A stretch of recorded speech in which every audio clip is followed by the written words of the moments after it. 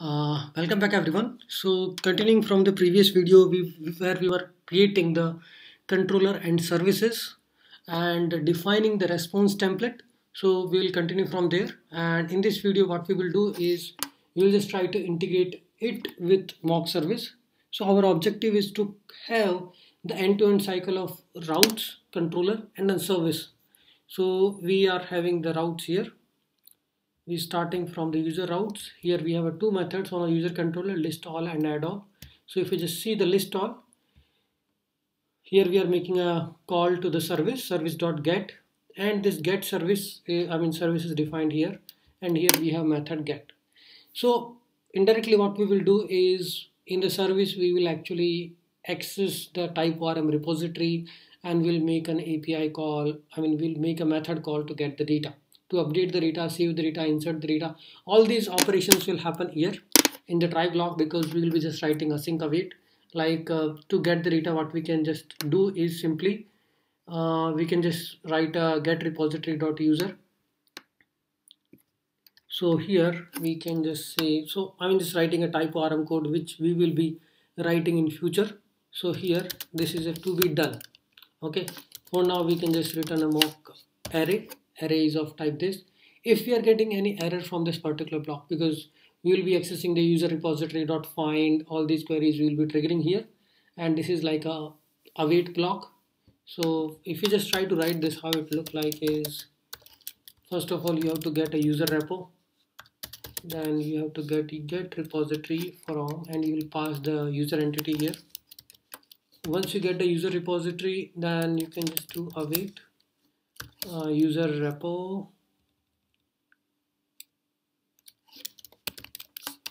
User repo dot find. This method you can call. Await user repo and uh, we can just find method on that and find as a criteria. I mean I want all the results from there. So you can return this particular thing which will give us the user array right so what this get repository is returning, get repository will give us the user repo and then we can run the find method on top of it. So this find method is available and it will just access the, this model and it will give us all the data inside this particular record. Okay, if you see any problem with this, then we'll just return, we'll go to the error. Here either you can throw the promise or you can reject a promise, right? You return throw, I mean you are returning an error. So then in the controller, it will directly go into the catch block. Here we have a dot then it's rejected. So it will come here in the middleware and then it will be thrown to our main middleware service. So we in the last video we created a one middleware. Right? So this middleware will be capturing that. Here we are already handling okay not found request or server ex exceptions are there. Then it is dealing with those kind of errors in the error middleware okay if you wanted to create another method which method is okay we wanted to add.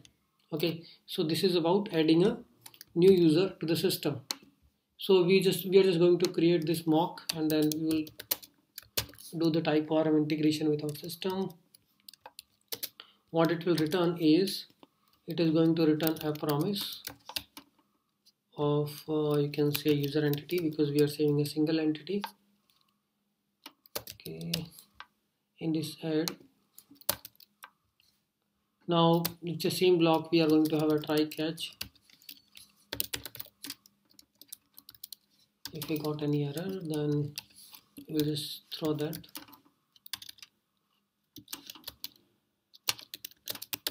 I mean you can create a custom API error here and throw that. Here now what we got is we are getting the user object current currently I'll just put any. So this is the argument you are passing here. Now from this we will be actually getting the repository and we will be just creating the object of the user. So const user equal to okay. And here I will be setting few attributes like created at id password and all these things. I will just set few things from this data we are getting in the request so what I will do is data dot row consider that I'm getting it. Okay. I'm just saving it. And then we can use the same methods. These are actually type ORM methods. First you have to get repository of for the user. And then user repo dot create is a method. And you just pass the user object. So it will create an entity for us. If we got any error like uh, we are not able to do it or something then we will get an error so await user repository. User repo dot save and create. There are two methods. We will just use save and user and we will just assign it to some new user you will say and we will return new user. I mean you can just write a return there itself. No need to do this. If you are getting any error okay you are uh, writing something. If you are inserting trying to insert a same user with same email id then we have to take care of all these kind of errors like uh, we might be getting some kind of particular error code here in this error object and then we can just throw custom API error. So how it will look like is return promise dot reject and new API error. Consider that I created a API error custom class and here I can just say user already exists or something. And here you can also pass some error code. I mean this is just a standard way of doing it API error. So okay I have the API error somewhere okay. So this API error what it is it is nothing but it is extending uh, the class. You can say the error, standard error class. And it is just overriding few attributes and adding the error stack.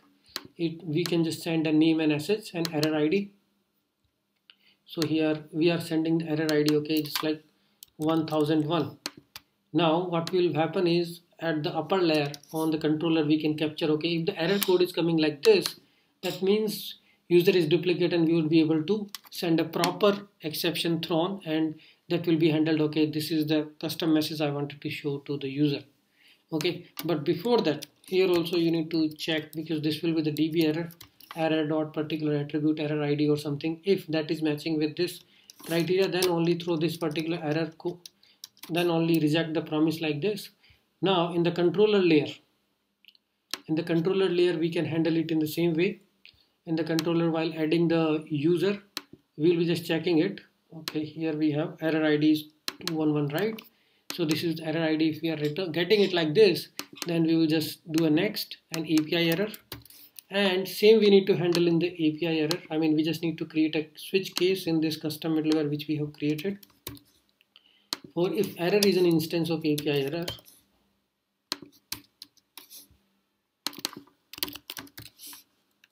okay if this is an instance then we can just say next API error and uh, we can just customize this middleware to handle this particular scenario. And we can just pass the status code.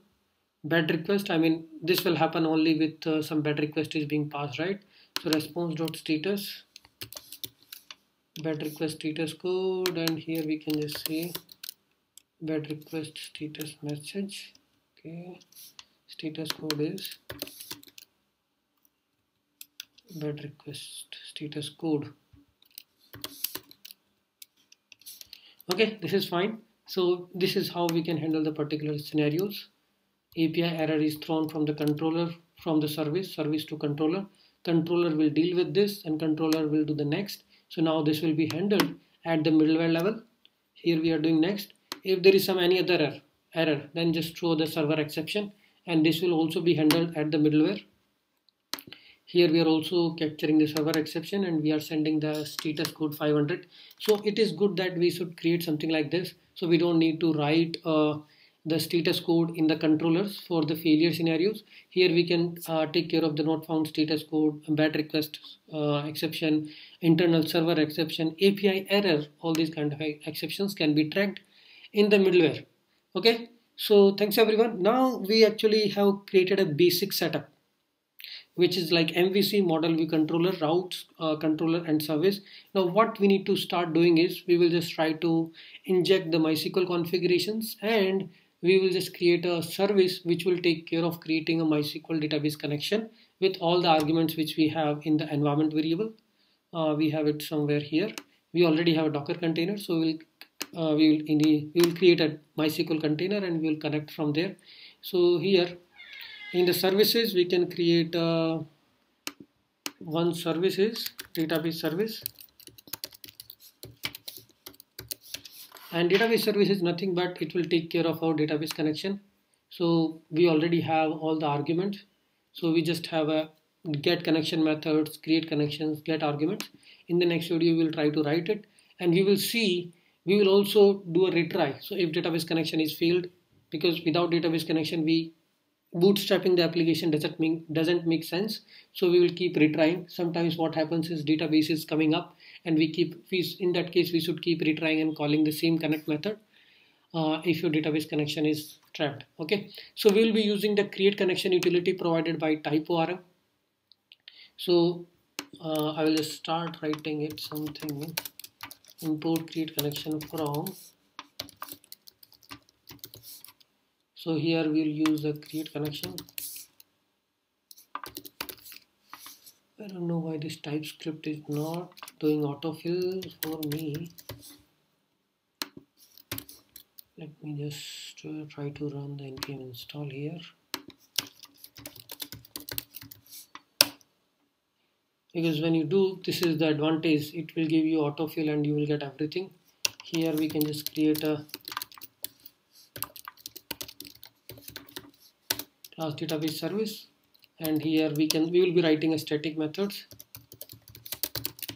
Public static uh, async because we have to wait for database connections to be established. Get connection. Okay now we'll just do is return await database service dot get connection here we'll create a we'll write this create connection method. Can I do this? Okay this is helping me. So create connection method and how it works is I mean this is provided by type typeorm so if you if I just summarize it return await and we have a create connection. Okay now it's coming. So here we just need to provide all the configurations. If everything is good so in this configuration means I will be passing all the attributes. Uh, I can just put the attributes here. Okay I will be getting the db config from somewhere like uh, import insert a db config.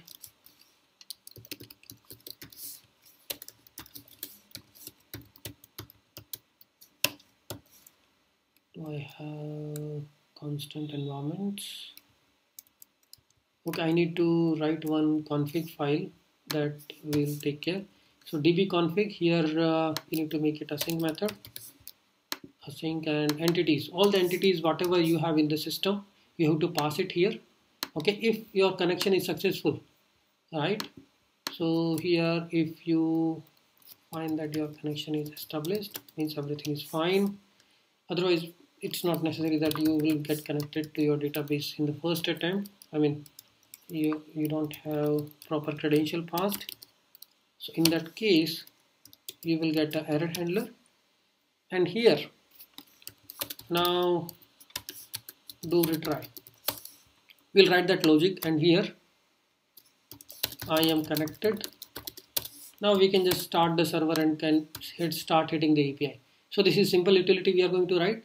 Here retry means we, we can just emit an event and that event being handled somewhere and that will just again do the create connection again call the create connection method by passing the same argument.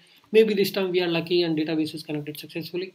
Okay so this we will write database service and database service uh, will we, we will plug this database service with our uh, uh, express server start. So whenever the express server start in the when the connection is established with the client we will just try to bootstrap the database connection and it will just do and retry. Uh, thanks everyone